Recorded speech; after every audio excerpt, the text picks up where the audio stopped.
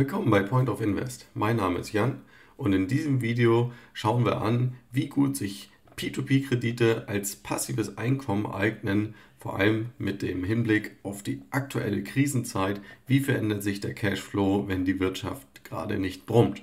Wer meine P2P-Updates verfolgt, der weiß sicherlich auch, dass sich meine Investments noch im überschaubaren Rahmen halten und damit auch die passive Einkommensquelle durchaus nicht sehr groß ist. Zuletzt im April habe ich 173 Euro brutto, also vor Steuern mit P2P-Krediten verdient. Das ist natürlich nicht besonders viel, das ist nicht repräsentativ. Ja, da kann man ja gerade mal GZ-Gebühren und ein paar Tankfüllungen von bezahlen oder so.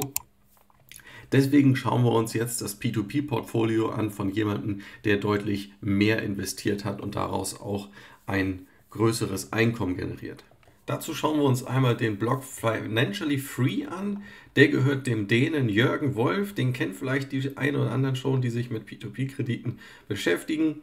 Er ist 39 Jahre alt und ist mittlerweile ja, finanziell frei, also lebt von den Einkommen aus seinen Investments und äh, verdient natürlich auch noch zusätzlich über andere Online-Businesses Geld. Aber hier auf seinem Blog geht es hauptsächlich um sein passives Einkommen. Er hat sich hier auch zwei Ziele gesetzt, kurzfristig 3000 Euro im Monat von Investments als Einkommen zu bekommen und langfristig sogar 7000. Und ähnlich äh, wie ich das auch mache, zeigt er immer jeden Monat, wie viel äh, durch die einzelnen P2P-Plattformen reingekommen ist. Das ist also sehr interessant. Schauen wir mal, wie sein Portfolio aktuell aufgebaut ist. Ein Großteil ist bei Crowdester 91.000 Euro. Groupier ist viel, 24.000, Mintos 25.000, Robocash 12.000, Swapper 13.000 und 20.000 bei Wisefund und noch einige andere Plattformen. Auch alle vier- bis fünfstellig investiert.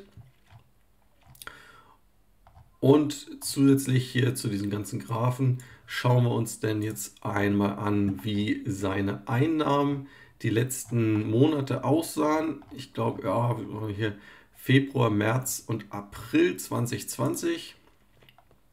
Hier gucken wir nur mal ganz kurz rein.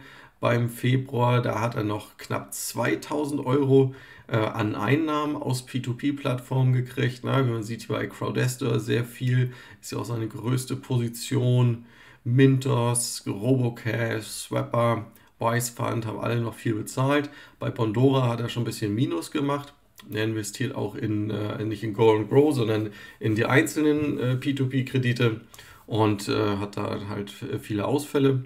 Und zusätzlich hat er noch zwei Immobilien für 80.000 Euro gekauft die ihm monatliche Mieteinnahmen von 1800 Euro bringen. Also knapp 2000 Euro P2P im, im äh, Februar. Im März, wo sind wir hier? März sah es dann schon nicht mehr ganz so gut aus. Da waren es nur noch 1000 Euro aus P2P. Ja, Groupier ist schon hier so Ampel auf Gelb gestellt. Das war schon, da hat Groupier ja schon keine Auszahlung mehr ausgeführt. Bondora macht da weiterhin Verlust, aber bei Crowdester kam noch ein bisschen was rein. Mintos, Robocash, Swapper, Wisefund haben alle noch bezahlt und sonst die anderen, äh, die Miet Mietzahlen laufen auch. Und äh, dann gucken wir jetzt mal ein bisschen genauer auf das aktuelle Update. Aktueller Stand auch innerhalb der Corona-Krise, ja. Und äh, ich habe mir diesen Blog ausgesucht, weil hier haben wir halt mal wirklich ein sehr, sehr großes P2P-Portfolio, sehr hohen Invest und äh, haben da ein gutes Beispiel dafür, dass man Gefühl kriegen kann, inwieweit sich P2P-Kredite als äh, passives Einkommen eignen, von dem man dann auch leben möchte. Ja, also ich weiß jetzt nicht genau, wie bei ihm die Umstände sind, aber auf jeden Fall äh, ist er ja auch mit seiner Familie ausgewandert nach Portugal und äh, hat hier das Ziel, langfristig von diesen passiven Einnahmen zu leben. Natürlich verdient er auch ein bisschen Geld damit, dass er hier über diese Plattform schreibt und dann mit Affiliate-Links äh, an den Einnahmen, an den Investitionen seiner Leser beteiligt wird, ganz klar. So, wie sieht es jetzt im April bei ihm aus? Die Plattform sind ja, viele, in die ich auch investiere. Bondora weiterhin mit Verlust. Ja, muss ich sagen, habe ich selber nie probiert. Ich nutze nur Pandora Go and Grow. Da hat man halt konstant seine 6,75 Prozent. Ähm, Im Moment natürlich auch äh, eingeschränkt auszahlungsfähig. Ja, das dauert entsprechend lange, aber äh, immerhin keine Ausfälle bisher. Also haben wir 12.000 Euro dabei. Das ist natürlich schon heftig. Und dann geht es weiter mit Bulk Estate. Hier auch 10.000 Euro investiert, normalerweise 10% Zinsen. Da kam jetzt gar nichts. Bulk Estate habe ich selber noch nicht investiert, sind ja alles Immobilienkredite. Ja, meist so nachrangige äh, Immobilienkredite. Ähm, da wurden anscheinend bei sämtlichen Projekten alle Zahlungen komplett eingestellt. Das ist schon bitter. Aber habe ich auch schon äh, bei mehreren Plattformen jetzt erlebt äh, im letzten Monat. Äh, von daher auf jeden Fall nachvollziehbar.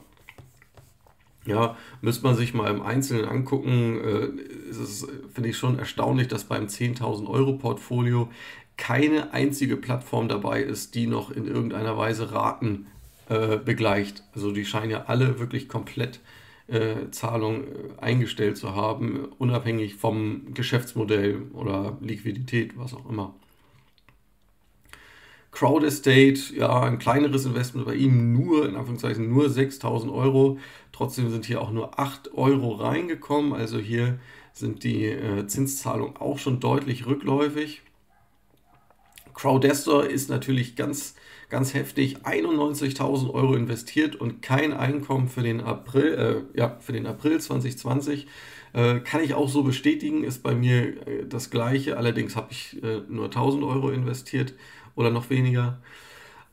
Äh, hier wurden ja auch äh, sämtliche Projekte erstmal ausgesetzt, beziehungsweise die, die Zinszahlung und die Tilgung wurden ausgesetzt und auf einen äh, späteren Zeitpunkt verlegt, wobei Crowdester angegeben hat, dass einige äh, Kreditnehmer äh, von dieser Regelung gar keinen Gebrauch machen wollen und freiwillig äh, demnächst wieder äh, den äh, ursprünglichen Zahlungsplan fortsetzen wollen. Ja, kann man mal gespannt sein, wie es hier weitergeht. Aber hier sieht man großes Invest, großes Risiko. Hier kann man auf jeden Fall mit diesem Monat keine Rechnung von bezahlen.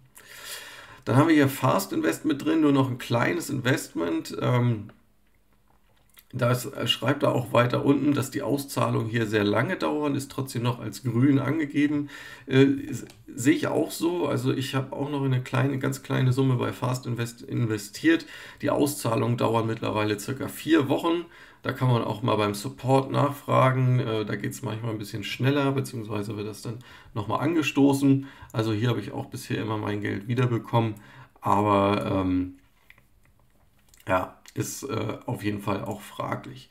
Group hier, große, sehr, sehr bittere Position, 24.000 Euro. Äh, es finden keine Zahlungen mehr statt und man kann auch gar kein Geld mehr abheben. Ja, also hier ist auch ein Betrugsvorwurf im, im Umlauf und äh, hier muss man auf jeden Fall beobachten, wie es weitergeht. Ähm, schwierige Lage ist immerhin, wie man hier sieht, bei seinen 10% von seinem äh, Gesamtinvestment liegen bei Groupier. Äh, die wird man wahrscheinlich äh, früher oder später abschreiben können. Ja, ist in meinem Portfolio ähnlich. Ich bin zum Glück nur mit 1200 Euro investiert, aber auch hier erwarte ich nicht, dass in nächster Zeit Geld zurückkommt. Mintos läuft an sich hier noch ganz gut, 25.000 Euro investiert, dafür 240 Euro äh, Zinsen bzw. Aus, Einnahmen diesen Monat.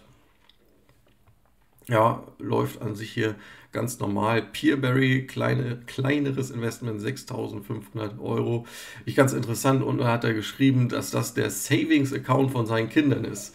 Das ist natürlich schon sehr, sehr mutig. Also allgemein haben wir hier ein Portfolio, das sehr, sehr äh, bullish, sehr optimistisch äh, P2P-Plattform gegenüber ist. Äh, also ich würde äh, das Geld, das ich für meine Tochter anlege, nicht in P2P investieren. Aber das ist nur meine persönliche Meinung. Reinvest, äh, kleines, äh, kleines Depot, äh, dafür auch nur ganz, ganz kleine, kleines Einkommen. Robocash sieht ja an sich noch ganz, äh, ganz sauber aus. Ja, 10.000 Euro investiert, also das sieht nicht, nicht nach Verzügen aus im Moment. Genauso bei Swapper. Hm, kommt hier auch noch regelmäßig das Geld rein, entsprechend der, der üblichen Verzinsung. Äh, Viventor auch noch eine kleine Position. Und dann ist hier Wise Fund auch komplett auf Null. Die äh, Plattform, die kenne ich persönlich jetzt noch nicht. Aber wie man hier schon an dem, äh, dem üblichen Zinssatz äh, sehen kann, wird sich das hier wahrscheinlich auch um hochriskante P2B-Business-Kredite äh, handeln, die erstmal alle komplett ausgesetzt wurden. Und dann sind hier noch zwei Positionen, die schon komplett abgeschrieben sind, Kützal und Investio. Einmal 20 und einmal 24.000 Euro 700. Ähm, ja, minus 100 Prozent, da kommt natürlich auch nicht zurück und da ist auch das investierte Kapital erstmal weg. Hier sind äh, definitiv schwere Betrugsvorwürfe im Raum, die Polizei ermittelt und es äh, gibt auch schon Sammelklagen. Kürzal war ich auch oder bin ich auch von betroffen mit äh, 900 Euro, meine ich, und habe mich hier auch der Sammelklage angeschlossen. Dazu gibt es sicherlich zu gegebener Zeit mal ein Update, wenn da was passiert, halte ich euch auf dem Laufenden. Wie man sieht, hier sein äh, Immobilieninvestment ist dafür noch konstant. Also die zwei äh, Einheiten und beide zahlen pünktlich ihre Miete. Aber äh, für das 245.000 Euro P2P-Portfolio sind nur noch 318 Euro für den April reingekommen. Und ich finde, das ist ein sehr, sehr gutes Beispiel, um zu sehen, wie riskant P2P ist und wie heftig eine Krisensituation ja, und ein wirtschaftlicher Abschwung sich hier auf das Einkommen auswirkt. Das ist jetzt natürlich eine Momentaufnahme. Ja, wir haben jetzt gesehen, die letzten Monate ist das deutlich zurückgegangen von 2000 Euro auf 300 Euro. Und äh, also mein, meine persönliche Vermutung ist, dass es die nächsten Monate erstmal nicht besser wird. Dass vor allem bei den äh, Plattformen, äh, die Business-Kredite ausgeben oder auch hier diese, diese Business-Immobilien-Investments, äh, dass dort die, die Zahlungen länger ausgesetzt werden. Bei den P2P-Plattformen ist es ja eher weniger. Äh, ganz im Gegenteil, einige Plattformen berichten ja, dass es äh, nahezu einen Ansturm gibt, dass es viele Leute jetzt kurzfristig Kredite aufnehmen wollen. Äh, muss man natürlich schauen, wie die Rückzahlungsmoral und wie, wie die äh, Risikoklassifizierung der einzelnen Plattformen ist, ob sie überhaupt diesen Leuten Kredite gewähren wollen. Aber insgesamt ist das ein sehr, sehr gefährliches äh, Business, hierauf, ähm, hier auf Einnahmen sich zu verlassen.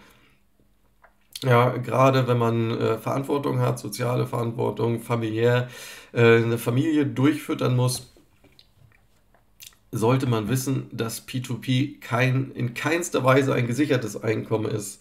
Ja, und selbst diese 318 Euro könnten ja noch auf 0 Euro fallen. Und hier sicherlich die ein oder andere Plattform noch bei, äh, die im Laufe der, der nächsten Monate Schwierigkeiten bekommen wird oder deren äh, Kreditanbahner, Kreditnehmer, was auch immer. Äh, von daher ist ein super Blog. Ich kann den auf jeden Fall zu 100% empfehlen, sich den mal anzuschauen. Hier werden auch zu jeder einzelnen Plattform immer noch äh, Kommentare gegeben und so. Äh, ist, wie gesagt, eine ganz andere Dimension als das, was ich mache. Ja, ich habe ja nicht mal ein Zehntel von dem, was er hier investiert. Äh, von daher auch sehr, sehr repräsentativ, wie ich finde. Für den einen oder anderen vielleicht auch nochmal ein Warnschuss aufzupassen, äh, sein Gesamtportfolio nicht zu sehr auf P2P auszurichten, sondern vielleicht auch andere Assets noch mit dazu zu nehmen. Ja, hier zum Beispiel Immobilien könnte eine Alternative sein. Äh, ich äh, habe mich da ja hauptsächlich auf äh, ausschüttende Aktien und Fonds noch äh, spezialisiert. Aber das einfach nur mal so als kleine Analyse zwischendurch. Wie seht ihr das? Äh, nutzt ihr P2P als passives Einkommen oder habt ihr andere finanzielle Ziele damit? Äh, legt ihr hier langfristig an mit Reinvest? Schreibt mir gerne in die Kommentare, wie eure Einstellung dazu ist, wie sich die durch die aktuelle Situation vielleicht auch verändert hat. Und bis dahin, haut rein und macht's gut.